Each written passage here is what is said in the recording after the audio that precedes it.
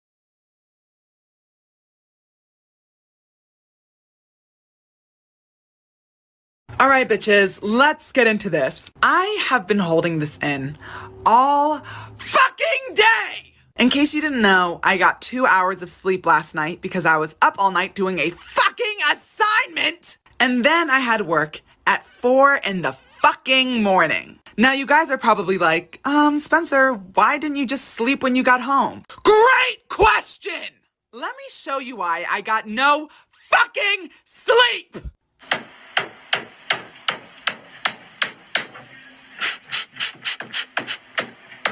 Now I know you all have the same question. Spencer, what the fuck is that huge banging sound in the background of the video? Oh, um, my house is getting renovated! So not only did I get to come home and lay in my bed, but I got to come home, lay in my bed, and listen to someone bang on my wall for three hours! No sleep, gang.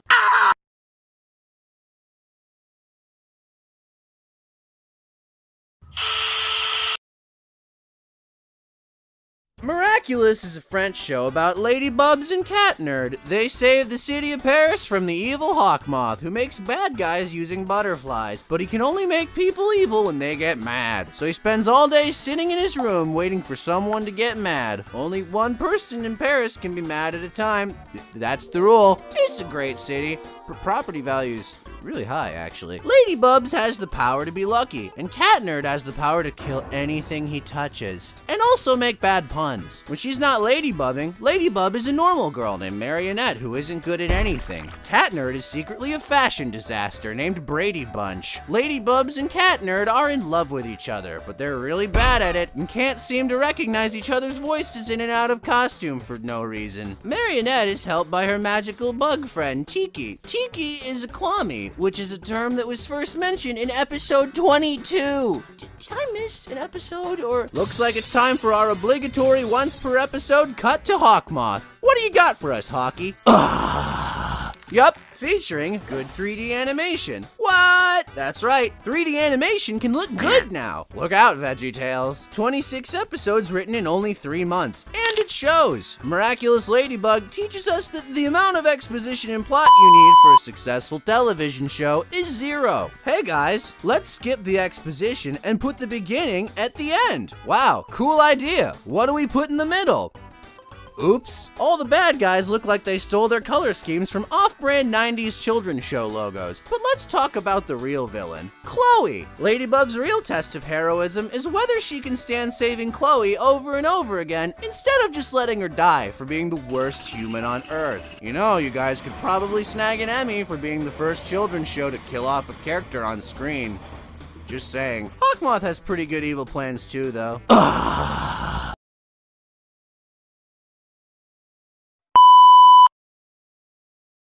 Then Ladybubs fixes everything with her magic status quo yo-yo. The status quo yo. Then everything's back to normal. Miraculous. Ah!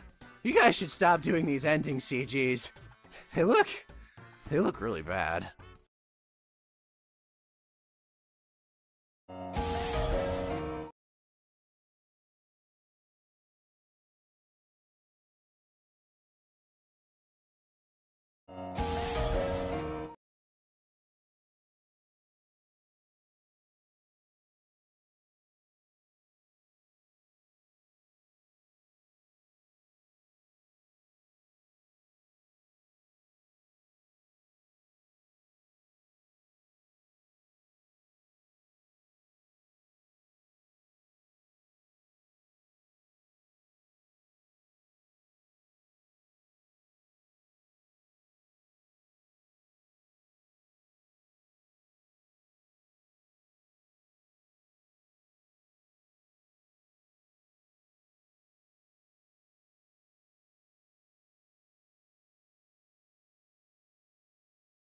All right, bitches, let's get into this. I have been holding this in all fucking day. In case you didn't know, I got two hours of sleep last night because I was up all night doing a fucking assignment. And then I had work at four in the fucking morning. Now, you guys are probably like, um, Spencer, why didn't you just sleep when you got home? Great question!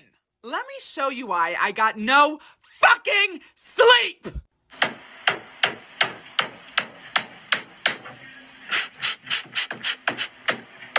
Now I know you all have the same question. Spencer, what the fuck is that huge banging sound in the background of the video? Oh, um, my house is getting renovated! So not only did I get to come home and lay in my bed, but I got to come home, lay in my bed, and listen to someone bang on my wall for three hours! No sleep, gang. Ah!